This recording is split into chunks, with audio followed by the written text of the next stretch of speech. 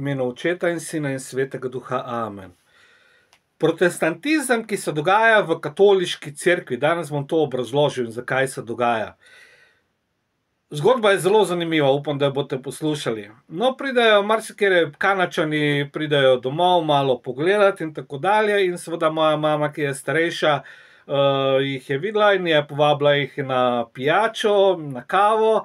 In slučajno pridem jaz k njej pogledat in se malo vsedem, se malo pogovarjamo. Ne?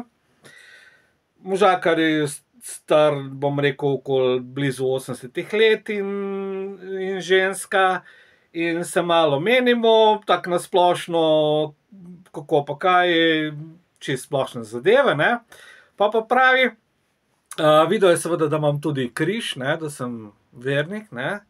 Pa pa pravi, se bi rad nekaj povedal, nekaj političnega, pa ne vem, ne bo glih najbolj primerno.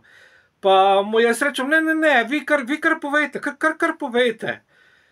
Pa se malo zamisli, pa pravi, v redu.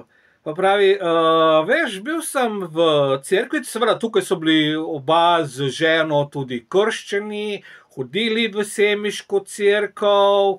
In uh, tako, ne, pa pa počasi delati, pa počasi v Kanado in Gorčo se stvarili družine in vnuki, in zdaj so prišli malo, seveda, pogled. Ne. In pa pravi, uh, veš kaj? Take so protestantske cerkve pri nas, pa jaz začnem ploskati. Bravo, bravo, točno to, točno to, o jaz govorim vsem, ki me poslušajo, upam, da je čim več takim, da so, da so take crkve protestantske, da nas vodijo te duhovniki, ko župniki v protestantizem. Ne? In mu dam roko, bravo, čestitam, čestitam. Evo, se neko, bom povedal, se ni važno ime, pa primek, ne se tako načrno, fitak, doske pridejo. Ne? Bom povedal zdaj tudi drugim, da vendar pride, more priti človek z ženo sem domov in vidi protestantsko crkvo v Semiču. In upravim, no kaj pa ste vi to opazili, da je ta da je crkva protestantska? Ja, jaz sem prišel noter v crkvo in vidim nobenega, nobenega kipa, ne? nobenega kipa Marije, nobenega korpusa z križom, take so protestantske cerkve pri nas. No, in sem mu razložil, ne. Ja, seveda, križ z korpusom, ki ga sicer vi niste videli in je včasih bil od spredaj, tako se ga je videlo kot križ agonije, ne. Ga je župnik protestantski semiči dal gor na kor, da se sploh več ne vidi. Pa pravi, a ja, a to je naredil. Se rekel, ja, to je naredil. Ne? Ne, zdaj vemo, in pa je bilo pa so še en malo še bolj stvar povezal. Aha, zdaj je meni jasno, zakaj je dal razvid. Paste, tam, ko je bil krstni kamen, ne, to so oni bloki, ki tako večji, skoraj široko, širom, ne vem koliko. Vse iz enega kamna, sklesani, krstni kamni, ne, za blagoslovljeno vodo. Ne to da ta župnik razbit s štemarco. Zdaj je jasno, zakaj je to naredil. Zaradi tega, ker protestanti se ne krščujejo, mislim, ne, ne blagoslavljajo z krstno vodo, ne pomagajo, ne namakajo prstov v krstno vodo in se krstijo. Zato je treba katoliško crkvo uničiti in jo dati kot protestantsko. In seveda, ker je bil COVID, so je dal pol tam mizico, ne? ko je bil včasih krstni kamen, da so si ljudje uh, pošpricali z, z destizuno vodo za dezinfekcijo, ne? in tisto jim je pa počist, tisto pa ne vem, kaj so. A, roke so si tako naredili, ne se pokrižati, se več ni bilo treba. Ne? Torej, razbiti je bilo treba kam, razbiti, a to je naredil, so rekli. Ja, krstne kamne je dal razbiti in to iz enega kosa cele skale. Ne moreš verjeti. In to on je sicer gradbeni inženir. Kakšen je to gradbeni inženir eh, po osnovni profesiji in da razbiti 500 let stare kamne. Ne? To je grozovito. Ampak dobro, vidimo, gremo naprej. Ne? Pa sem rekel, veste, kaj so še naredili? Ne? Pravi, ja, kaj pa? Ne? Če se boste spomnili, ne, je tam pred vhodom na desni strani, ki je bil zdaj, pa kip, siv kip. Zaradi česa, zaradi tega, ker tudi tisti ekipi bodo šli počasi stran, ker protestantizmu tega sploh ni. Ne? Ampak je hotel na, na, narediti, ker hoče narediti čisto človeško crkvo, ne več mistično crkvo, ki je bil prej uh, Marija z globusom in kačo in stopi kače na glavo iz razodetja 11, Marijo je vrgel v smetje. Ne? Pa pravim, zdaj sicer ni, zdaj, zdaj, mogoče je dal kam uh, bom rekel, v kako klet tam pod spodaj, ampak dobesedno je to samo korak do smetišča, lahko da je že tako romalo na smetišče, ali so jo porazbili, tako kot krstne kamne. Ne? Pravi, a ja, to je naredil. Sreko, ja, tudi kar pogledajte, ko boste šli tam, ne pa še pogledajte enkrat vrni, pa boste videli, da je dal pa še en svetnika in so čisti čist sivo, ne? niti ne pobarvano, tako so kipi po crkvah, bom rekel, vse malo v zlato ali pa za krono Marija, pa to ne pobarvani. Torej, notri več ni nobenega kipa. Včasih je bila na desni strani tudi slika Marije, verjetno je od strano. Zakaj? Zaradi tega, ker protestanti so dali Marijo stran. Zato treba odstraniti.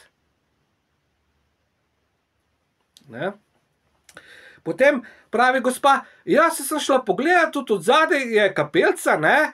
Dokler je bila vlast, pa to še živa, je bilo to, bom rekel, so bile rože, pa so ženske skrbele.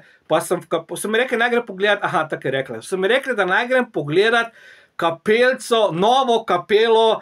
Tam je iz enega betonskega, z večjih mestih imajo za kanalizacijo, ne, se, ravno zato tudi je. Ne, Eh, kanalizacijo v ne široke betonske, betonske okvirje, in pol je to prosto zidar rupnik z.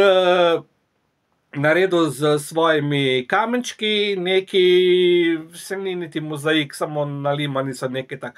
Pa pravi, sem jaz to videl, kaj to je, pa je kapela pravi. To in noter čist nič, čist nič, prazno, itek, vse. Samo vidiš to neke, neke, uh, kamne okul, brez veze, mislim, notrni nič. No, in tako nobenega kipa, nobene, uh, nobene, ne vem kaj, no, mislim, nobene slike, nisem bil že, že kar nekaj let tam. Ne?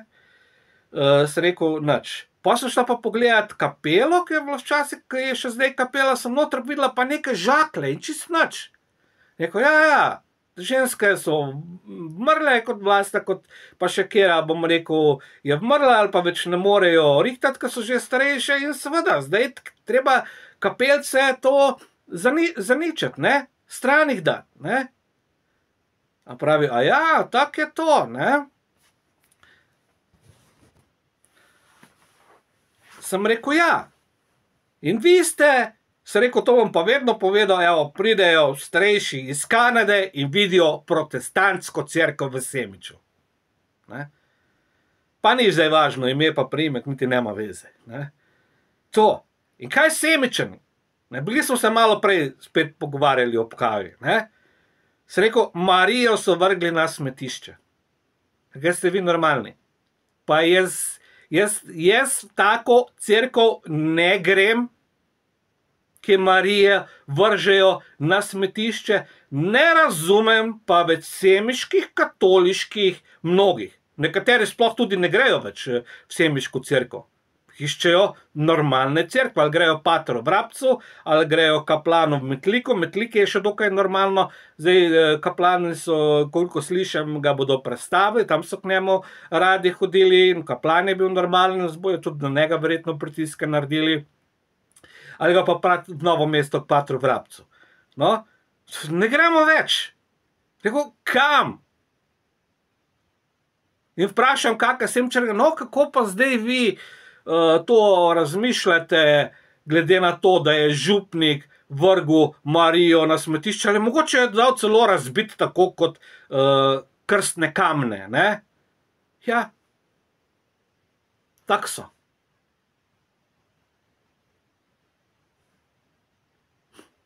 Mislim. Mislim. No, kako pa mislite vi, priti v nebesa, pa pol tam reči kako besedo naši materi Mariji, ne? Če se strinjate, ali vam je čisto vseeno, da je župnik odstranil kip z Marijo. In seveda, korelacija je čisto enaka. Župnik hoče narediti protestantsko crkvo. In seveda, takšen župnik, pa kot so saj je, ne, ga bo itak pol postavil, aha, take mi rabimo.